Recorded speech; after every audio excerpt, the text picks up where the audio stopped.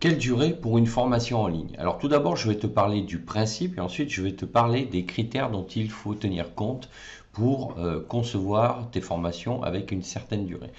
Alors le principe, c'est que l'on sait que euh, l'attention, la, durée de l'attention et de la concentration des apprenants baisse de plus en plus euh, entre 10, 20 et 30 minutes maximum selon le niveau de l'apprenant.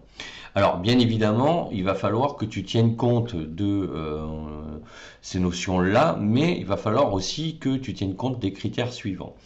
Si tu as une formation à faire que tu fais euh, donc euh, pendant 15 minutes, euh, ton cours, que tu présentes donc des éléments de formation dans ton cours, mais que ces éléments-là impliquent des mises en action de l'apprenant et que ces actions-là vont lui prendre à lui une heure, deux heures, trois heures ou quatre heures. À partir de là, tu vas pouvoir euh, considérer qu'un quart d'heure, ça suffit. En revanche, si tu as un cours qui doit euh, donc durer 20 minutes parce que euh, tu as tu peux pas découper ta formation en deux ça serait au niveau pédagogique ça serait pas du tout cohérent mais à ce moment-là tu vas adapter la durée de ton cours en ligne en fonction des informations que tu as à transmettre. Et c'est comme ça que tu vas pouvoir euh, déterminer la durée de tes cours. Mais il faut éviter aussi de trop découper ces cours pour que ça devienne après euh, trop fastidieux. Parce qu'à ce moment-là, ça veut dire que la problématique se renverse, c'est-à-dire que ça devient encore plus compliqué pour l'apprenant pour se remettre dans le bain dans une nouvelle vidéo, en sachant que souvent un apprenant, s'il a fini une vidéo, il se dit, il peut se dire, voilà, moi je ferai la deuxième, je visualiserai la deuxième vidéo demain. Et à partir de là, il, perd le bénéfice de sa mise en action et en activité pédagogique euh, sur la première. Alors que ce qui serait intéressant, c'est de lui faire accomplir, par exemple, certaines tâches groupées parce que c'est logique et c'est cohérent.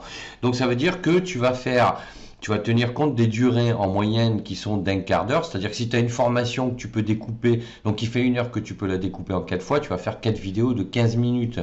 Mais tu vas adapter ces durées en fonction de la cohérence, d'accord? Si tu dois lui poser, euh, je sais pas moi, cinq questions et que euh, ton, tu sais que, admettons, les trois premières questions euh, sont déjà assez longues, tu vas pas faire une vidéo seulement pour les deux questions restantes, d'accord? Tu vas regrouper les cinq questions. Et à partir de là, bon, mais ben, lui, euh, il va devoir euh, répondre sur euh, une même problématique et rester sur un même cours avec un même objectif pédagogique, d'accord? Et toi, tu vas donc à ce moment-là peut-être même être obligé de faire une vidéo de 20 minutes et 30 minutes.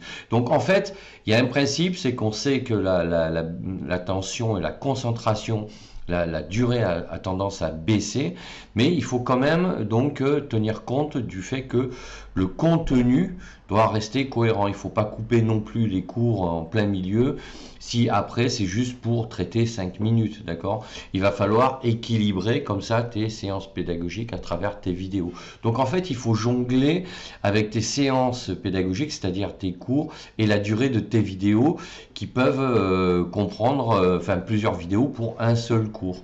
Et tout ça, il faut que tu le mettes sur papier, que tu te fasses des storytelling parce que ça va t'aider à construire tes séquences pédagogiques et tes séances d'activité. Donc voilà, il faut bien que tu fasses attention à ça. Parce que tu peux avoir une... Alors après, ça va dépendre aussi de la durée de ta formation. Si tu as une formation qui dure une heure et que tu as une formation qui dure quatre heures. Donc celle qui dure une heure, euh, c'est à toi de voir, voilà, si c'est pertinent. Si admettons tu as euh, trois chapitres, bah, à ce moment-là, tu peux te dire, bon, euh, voilà, si mes chapitres sont équilibrés, je vais faire trois fois 20 minutes. En revanche, si tu as une formation de 4 heures, euh, c'est à toi de voir si chaque heure peut être découpée en, quart d'heure ou en 20 ou par 20 minutes, tu vois.